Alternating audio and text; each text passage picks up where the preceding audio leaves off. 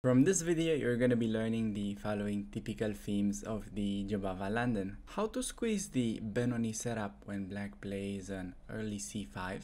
How to play the typical endgame for this variation after using the Queen h2 idea. How to absolutely demolish the Czech Pirc according to my Chessable course. And at the end of the video, I'm going to show you my secret way of dealing with the Slav setup, avoiding the most common bishop d3 plans. Starting off with the white pieces, gonna be going d4 and heading right into the Jobava London with knight c3, ideas of e4, so...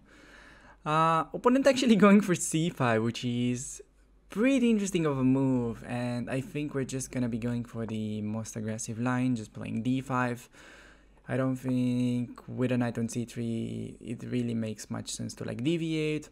Mm, like in the normal London uh, I usually advise my lower rated students to, to deal with us, uh, let's say when they go c5 to maybe play something like c3 uh, well to like uh, keep it simpler in this position. But okay I mean at this point once you have the knight on, on c3, there's not like really much room for, for creativity. Maybe dc could be interesting, but I don't think it gives white uh, an objective edge. And uh, yeah, just going for the main lines with d5, he goes e6, which is going to be taking back with a pawn pretty much all the time and gonna be developing uh, this bishop goes to c4. I'm trying to like understand whether it makes sense to play this bishop b5 check that uh, it's quite topical in in some of these lines but I don't think in this super particular one. So I think just developing to c4 is just fine. Just making sure this pawn is uh, gonna be uh, well defended. You can just castle whenever they play a6. We're gonna be going a4 stopping them from pushing b5 because then we have takes and after 97 uh, I'm trying to remember whether we are supposed to play a5 or not because on one hand this looks actually very good because we're fixing the weak square but it might also help black to uh, speed up the initiative on the queen side a little bit after b5 because if you think about it um, if we just play rook e1, super flexible, they can still play rook b8, but they're not going to be threatening to go b5 because you can obviously just take and they don't really get any compensation. We see knight g4 with this idea, so just to stop that, I think I'm going to be playing bishop f4. Ideally, they'd be able to play bishop f6, but that will actually just hang the pawn. So this is a pretty annoying threat now. And yeah, I think black has a pretty pretty unpleasant position now. Okay, we see bishop f6, but that is running into what I just pointed out. Take the free pawn. I guess opponent simply forgot about that, and uh, how are we gonna going to continue? Mm, could just play queen d2, and then when they go knight e5, you know, we could potentially just trade everything Another thing would be to maybe play h3, sort of force knight e5 right away. Could also start with like rook e8 if I want to. Have a pretty big choice. Also, knight e4 is not like a completely stupid move. But then maybe they can take the pawn on b2. There's rook b1 though. Kind of not believing bishop takes on b2 as a move there.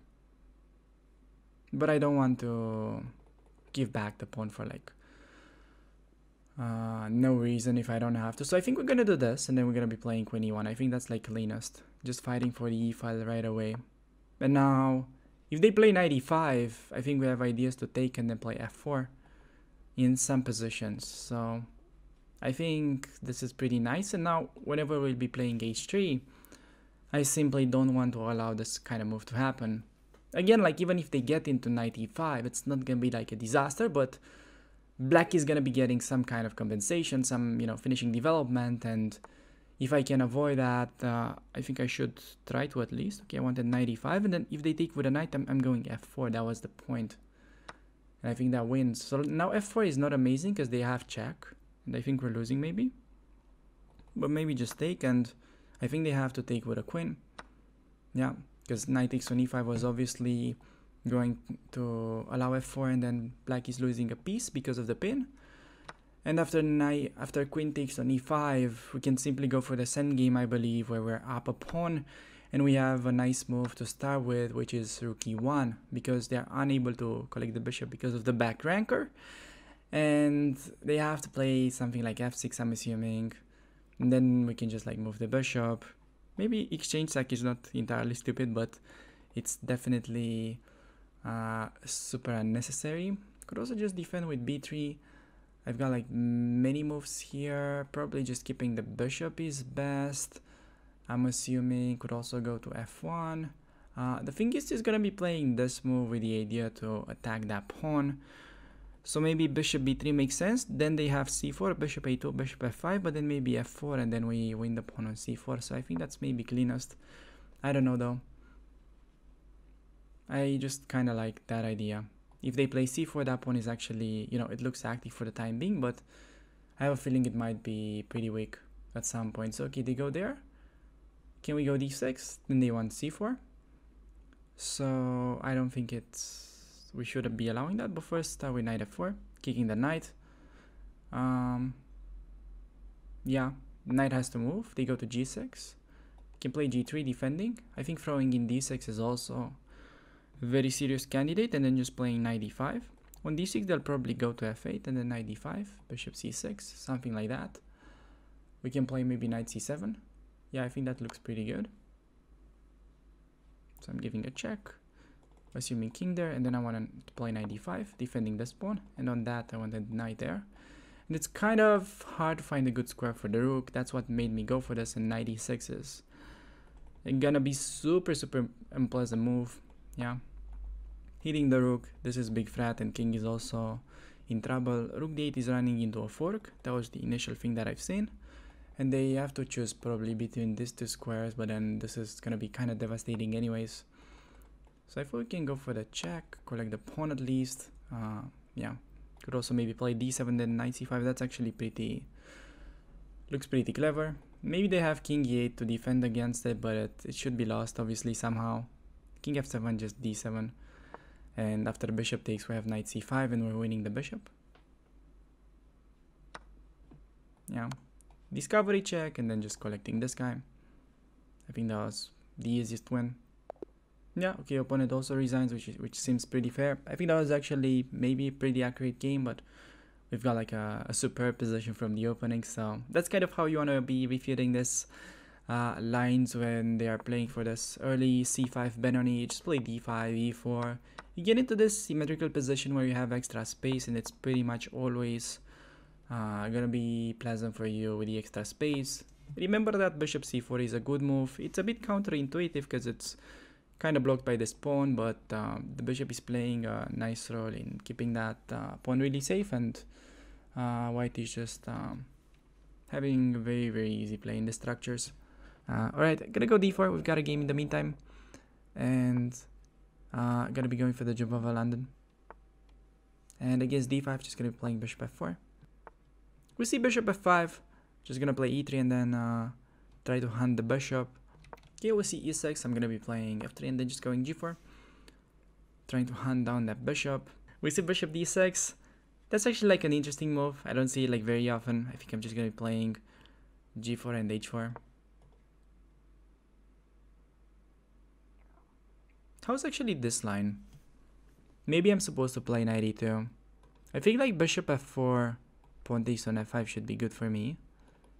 Yeah, I don't want to like play h4 because you can then take and then go h5 and that's looking bad for me strategically.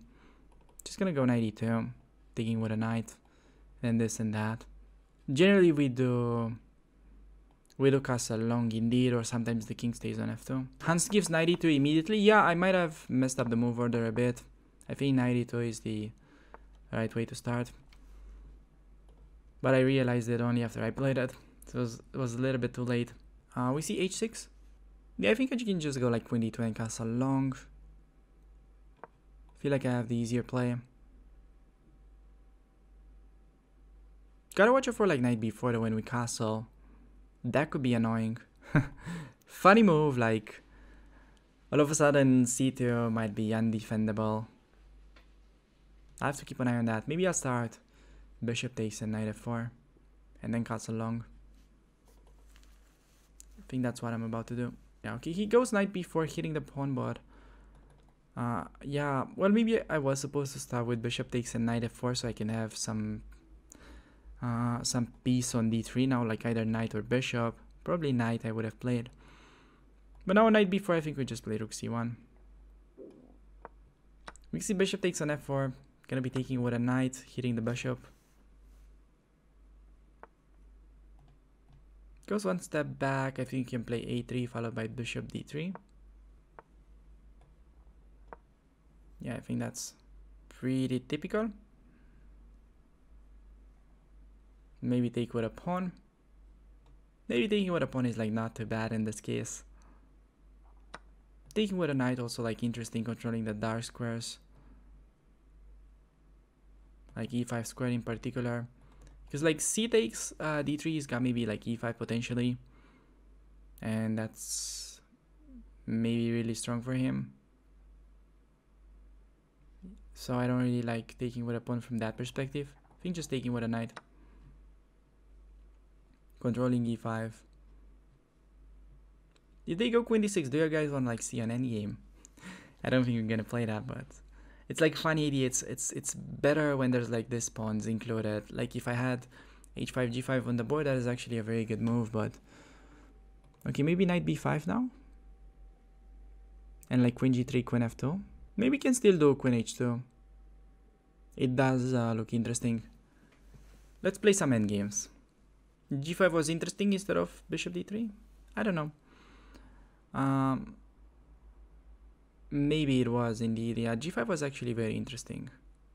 Don't know why I haven't played it. I, I guess I just went for the autopilot move. But it might end up being a very instructive game if we get into the end game and we manage to win it.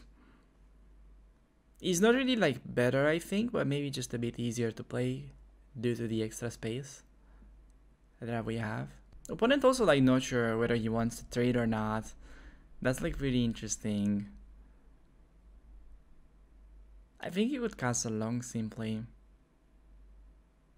But maybe we just take. I don't think taking with a pawn is that amazing. Just taking with a rook. Knight d7. e5 not really a thing because of knight d5. We just need to like slowly improve our position now. Uh, maybe we could do knight a4 with knight c5 ideas. Or just simply knight e2, making room for uh, c4. But knight e2 then he gets e5 and so I don't like that. Maybe knight b5, castles, and then c4 is a is a thing. And like a6, maybe that's a bit problematic. But like a6 cd, um, that's like looking good for us. And even like dc, knight, rook c4, a6, knight c3 also looking okay. Yep.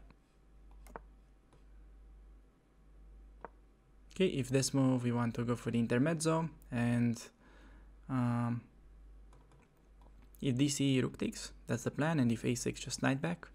And if knight b6, I'm actually planning to sack the exchange. Yeah, also by the way, against the e6 we could potentially sack. I don't think it's like that amazing though. So if I go knight c3, the move that's actually annoying is not knight b6 because I think we get a good exchange sack. But um, the knight a5 move, but, but I guess just like rook a4 there. And this rook can be brought quite easily into the game. I'm hoping he goes there, yeah, and now the point was to do this. And it felt like um, this should be quite annoying for my opponent. I think it's like pretty fun, fun position to play. Easy moves for for white. Maybe not better objectively, but still um, quite annoying. And I think this is like best move.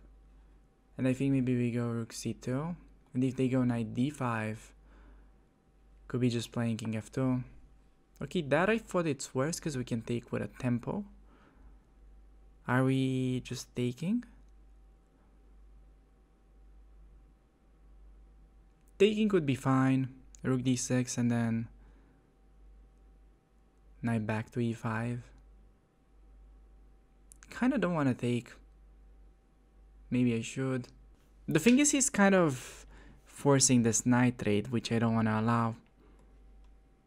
Maybe we can play um, like knight d5, knight d1, if that's like not too, not too slow. Maybe c5 is interesting for him. I wasn't sure if he can play it.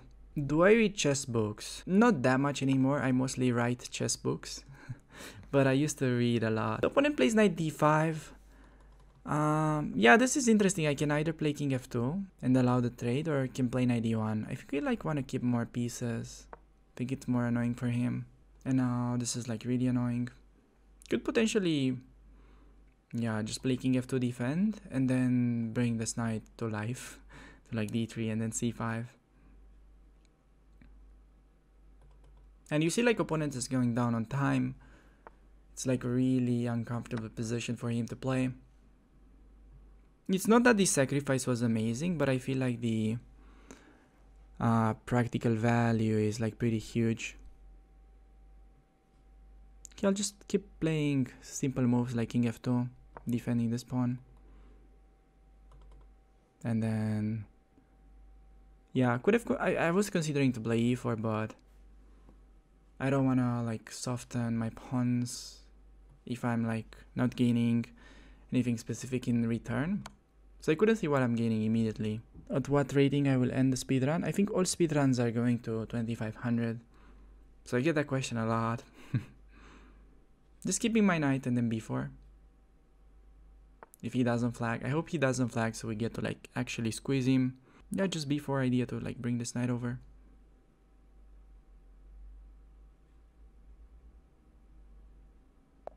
God, I mean, opponent just flagged.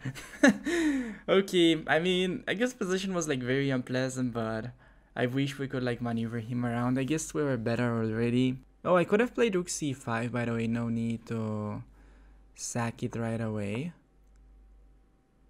But I mean, I really like my sack. It was brilliant. Do you see it? Oh, I guess you don't. Oh, you can see it, I think. Yeah, it's... Rook c6 was a brilliant move, okay? Chess.com also agrees. I think that's already like a ultimate level of validation. Also, I like knight d1, keeping knights. Because the other one was king f2 and... Yeah, like I guess this is still uh, playable, but I mean with not so many pieces, it's kind of easy for black to even uh, play something like this if they are running out of options. I mean, this is not good, but just to give an example. So I think practically keeping knights is a better chance. Has to watch out for all of this kind of moves. Yeah, let's just go d4. Try to get uh, an interesting Jobava London. And we see g6. I guess we're just gonna be playing the Austrian attack. Gonna be playing f4. We just transpose back into the Pirc. Okay, we see bishop g7, which is very normal. Just gonna be playing knight f3.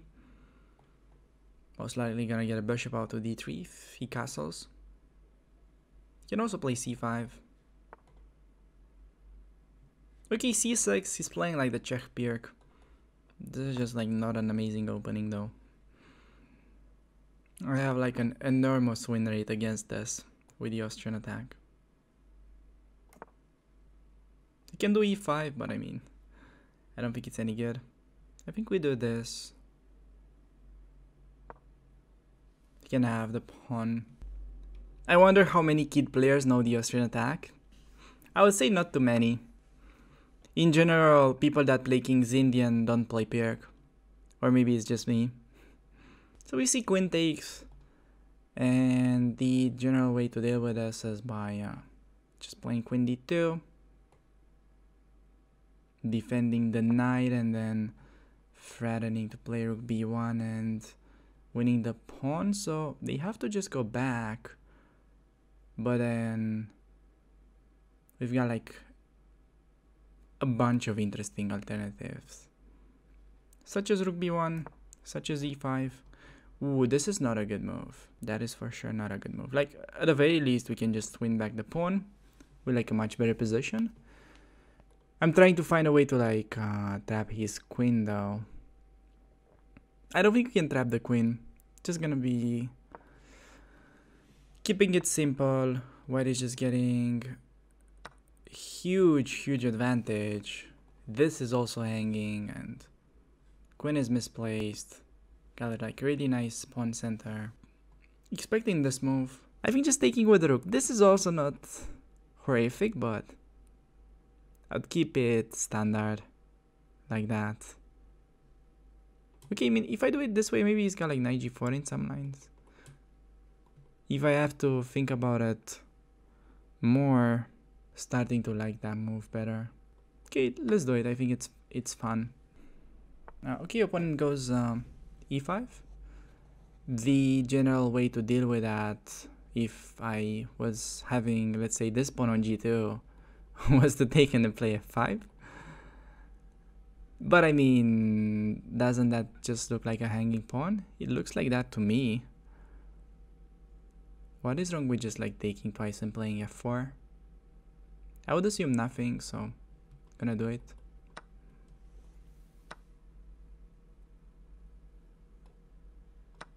Ninety-seven, but just like f4, keeping everything, everything uh, defended. So opponent plays knight d7 as expected, but just f4, defending everything, getting keys of like knight c5.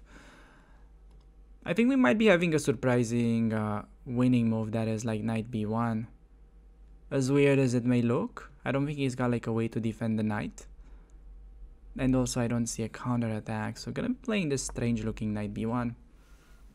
I think this is the killer in this position, because he's only moved to like keep the knight defended was queen a5, but that is taken by my queen. So I think this kind of uh, backwards knight moves are like the hardest to spot, but I mean, it's easy to see in this position, but because it just feels like his pieces are so loose, it, you, you just naturally look for something and then you, you spot it easily, I would say. And now we're just kind of winning, I think. Think opponent is just uh, doomed now after knight b1. C queen takes on a2, but picking up the free knight. Just an easy win now. Funny tactic bishop c4, just trading a lot of stuff. And like queen takes, there's uh, queen d8. and after he takes, we take there and he's, he's got some problems with f7. He's got like rook d7 only move, but that is still lost. This was like a bit unnecessary, okay, but we're just having a little bit of fun with it. Yeah, and now uh, bishop or rook takes? I think bishop. Then just like bringing out this rook. Or like anything really. So like rook d1, threatening mate, knight a6, bishop d4. I don't know, I guess I'll just play this and that. Seems to be the most clinical. Not sure we'd need this knight, but it's nice to have it, I guess. Maybe I could have pushed uh, like e6 or something. But anything wins, I think, at this point. He tries c5, uh, just bishop there. Bishop coming to d5 when he plays knight c6. Uh, we see that, but bishop back. And like knight b4 is losing another piece to rook b4. Then we pick up his rook.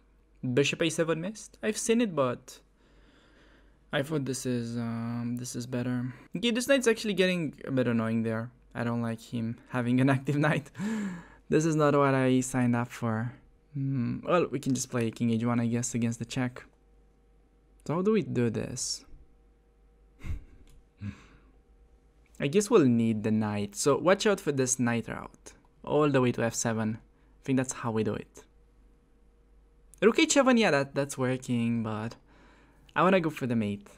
I want to get my knight to f7 and then knight g5 and rook h7 mate. Okay, but now another knight move with tempo. And then knight e5 will come winning another tempo. Yeah. This is big flat. By the way, another friend might be just to play uh, rook g7 and he's in like a mating net because of knight coming. Yeah, that's the point that I'm trying to make. Why would we trade this strong rook for this, yeah, sort of useless rook with rook h7? I think it's better to like keep. Then yeah, like just getting the mate. Knight c3, can give a check, can go rook g7. I think rook g7 is like nice. Watch out for this, boys. He's gonna be doing this. Do you feel what is about to happen? Oh gosh, he didn't. now we're getting the mate, but I wish he was playing this. And then we get like rook g8, rook takes, and knight f7. That's what I was like hoping to get. But now it's just a normal smother mate, I guess. And uh, we end up uh, getting the win. Alright, we got a white pieces. Gonna go d4 and knight c3. We see the lines with knight f6 and then d5 uh, Uh, getting into the ultimate main lines of the Jobava London.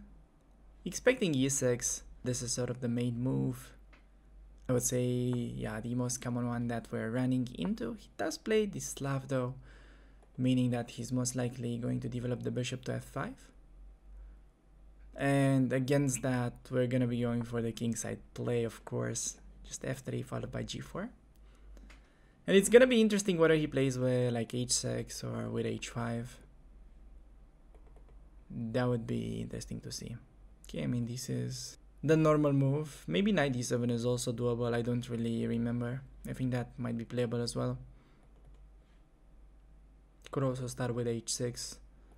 I think, yeah, he does go for that. I'm gonna playing g4 and then uh, h4. This guy is taking like really weird timing.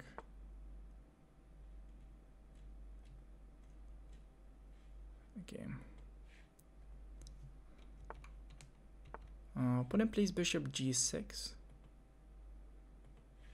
Just gonna be going h4. And I think they connect this line with h5, yeah. I think that's the trick. And then they play... They're playing like knight g8. And like the standard motif would be to play uh, bishop d3. But I think I'll, I'll try out another idea. Let's see how they are dealing with the unusual plan of bringing the knight towards h3. And now the idea is to get it to f4. I think this is like quite surprising for a lot of players because what you'd normally see in the Jobava London is like everyone plays uh, bishop d3 in this position I think. Or in these positions in general. It, it doesn't have to be that precise one. But here okay we get a super interesting game with the knight on e7 he might be playing knight f5 I'll play bishop f2 if he moves the bishop I think maybe then we play bishop d3 we forced him lose a tempo. Okay on bishop h7 we also have ideas too grab that pawn on h5 of course so that's why they play to f5 now e4 though is kind of tempting. I think we're just gonna go for that. When you can push in the center like this and gain a tempo it's usually the right thing to do. Gonna keep developing. I think we're getting a really nice position right now with the center and his pieces look kind of cramped to me. Big frat. This is also a frat I'm expecting this and g6 yeah. This is probably next otherwise the pawn drops. And on g6 could start with long castle. Probably that's easiest and just uh, play it slow with the f-file. Put pressure on this pawn. Also I had ideas of e5 and knight e4 but I don't want to give away these squares when pushing e5 so I think I might be delaying that for a bit. It's also kind of hard for him to castle short because if he does that I might be having ideas to sack the piece there. So I think we bring the rook. Could also play e5 now because we're killing the bishop. He's got knight f5 can play knight e4 maybe. Like I'm fine with that trade yeah, I'll start this way. I am just waiting for him to commit, pretty much. And then maybe we do go e5. Because like taking I think is kind of fine. Do you guys want to go for the super aggressive play? So I think the main defensive resource for him in that position is to play queen e8 with the idea to push something like f5 or f6. So in 28, I can't really come up with with a serious plan. Maybe just e5, f5 and queen back. But that's like really messy. I want to keep it really, really clean. So I think for this reason, I'm gonna be going e5 and knight f5, just knight e4.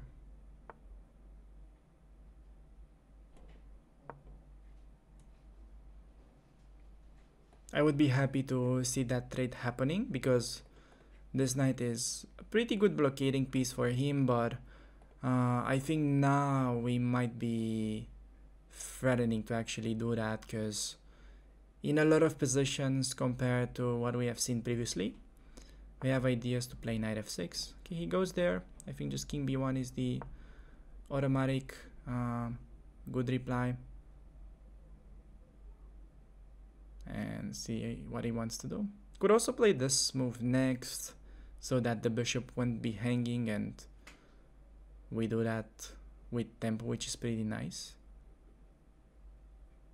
I think he should start offering endgames maybe with queen a6 because on queen b5 I can hit him with c4.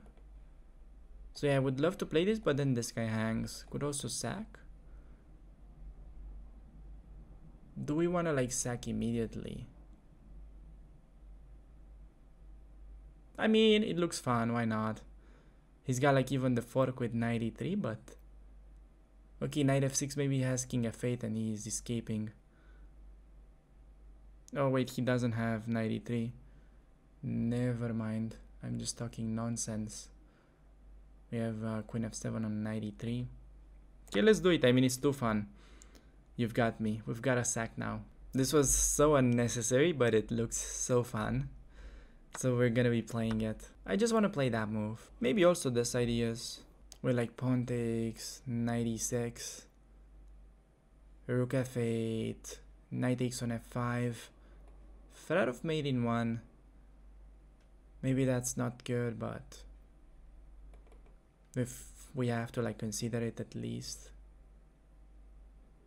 So we have sacked the piece and some people might try to see the direct checkmate, but sometimes even, you know, slow play like, let's say queen f3 and just pushing the h-pawn might be good enough if he doesn't have counterplay. I would love a quicker finish though maybe like knight d6 this is like he his best piece. Maybe we can even consider g6 ideas and after pawn takes queen takes. Okay so he does go for the counter sack. I don't think that should be good. This should be the move just trading his bishop and might be instantly winning. Yeah i think that's insta win. Okay i think he's just like helping us to finish faster because now he's got no bishop that defends his king. So he was definitely not forced to do that. I can tell you that but I think if he had a defense the position was uh, pretty unclear. Maybe close to equal if he had one. Not sure that's actually defendable but it definitely felt like giving me interesting play so Okay, I think here we just win the queen, like knight f6, queen h8, knight g8. So we don't have checkmate, but we have this move and uh, we can pick up the undefended queen.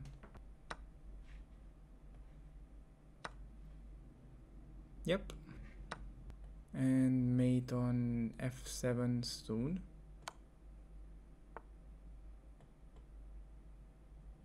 Okay, do you want uh, do you want the funny one? We'll play uh, rook d8 first. Okay, he resigned, but like there was uh, queen f7 mate on the next turn anyways. Thanks a lot for making it this far into the video and if you're looking for more content make sure to check out uh, some of the previous episodes from the same series.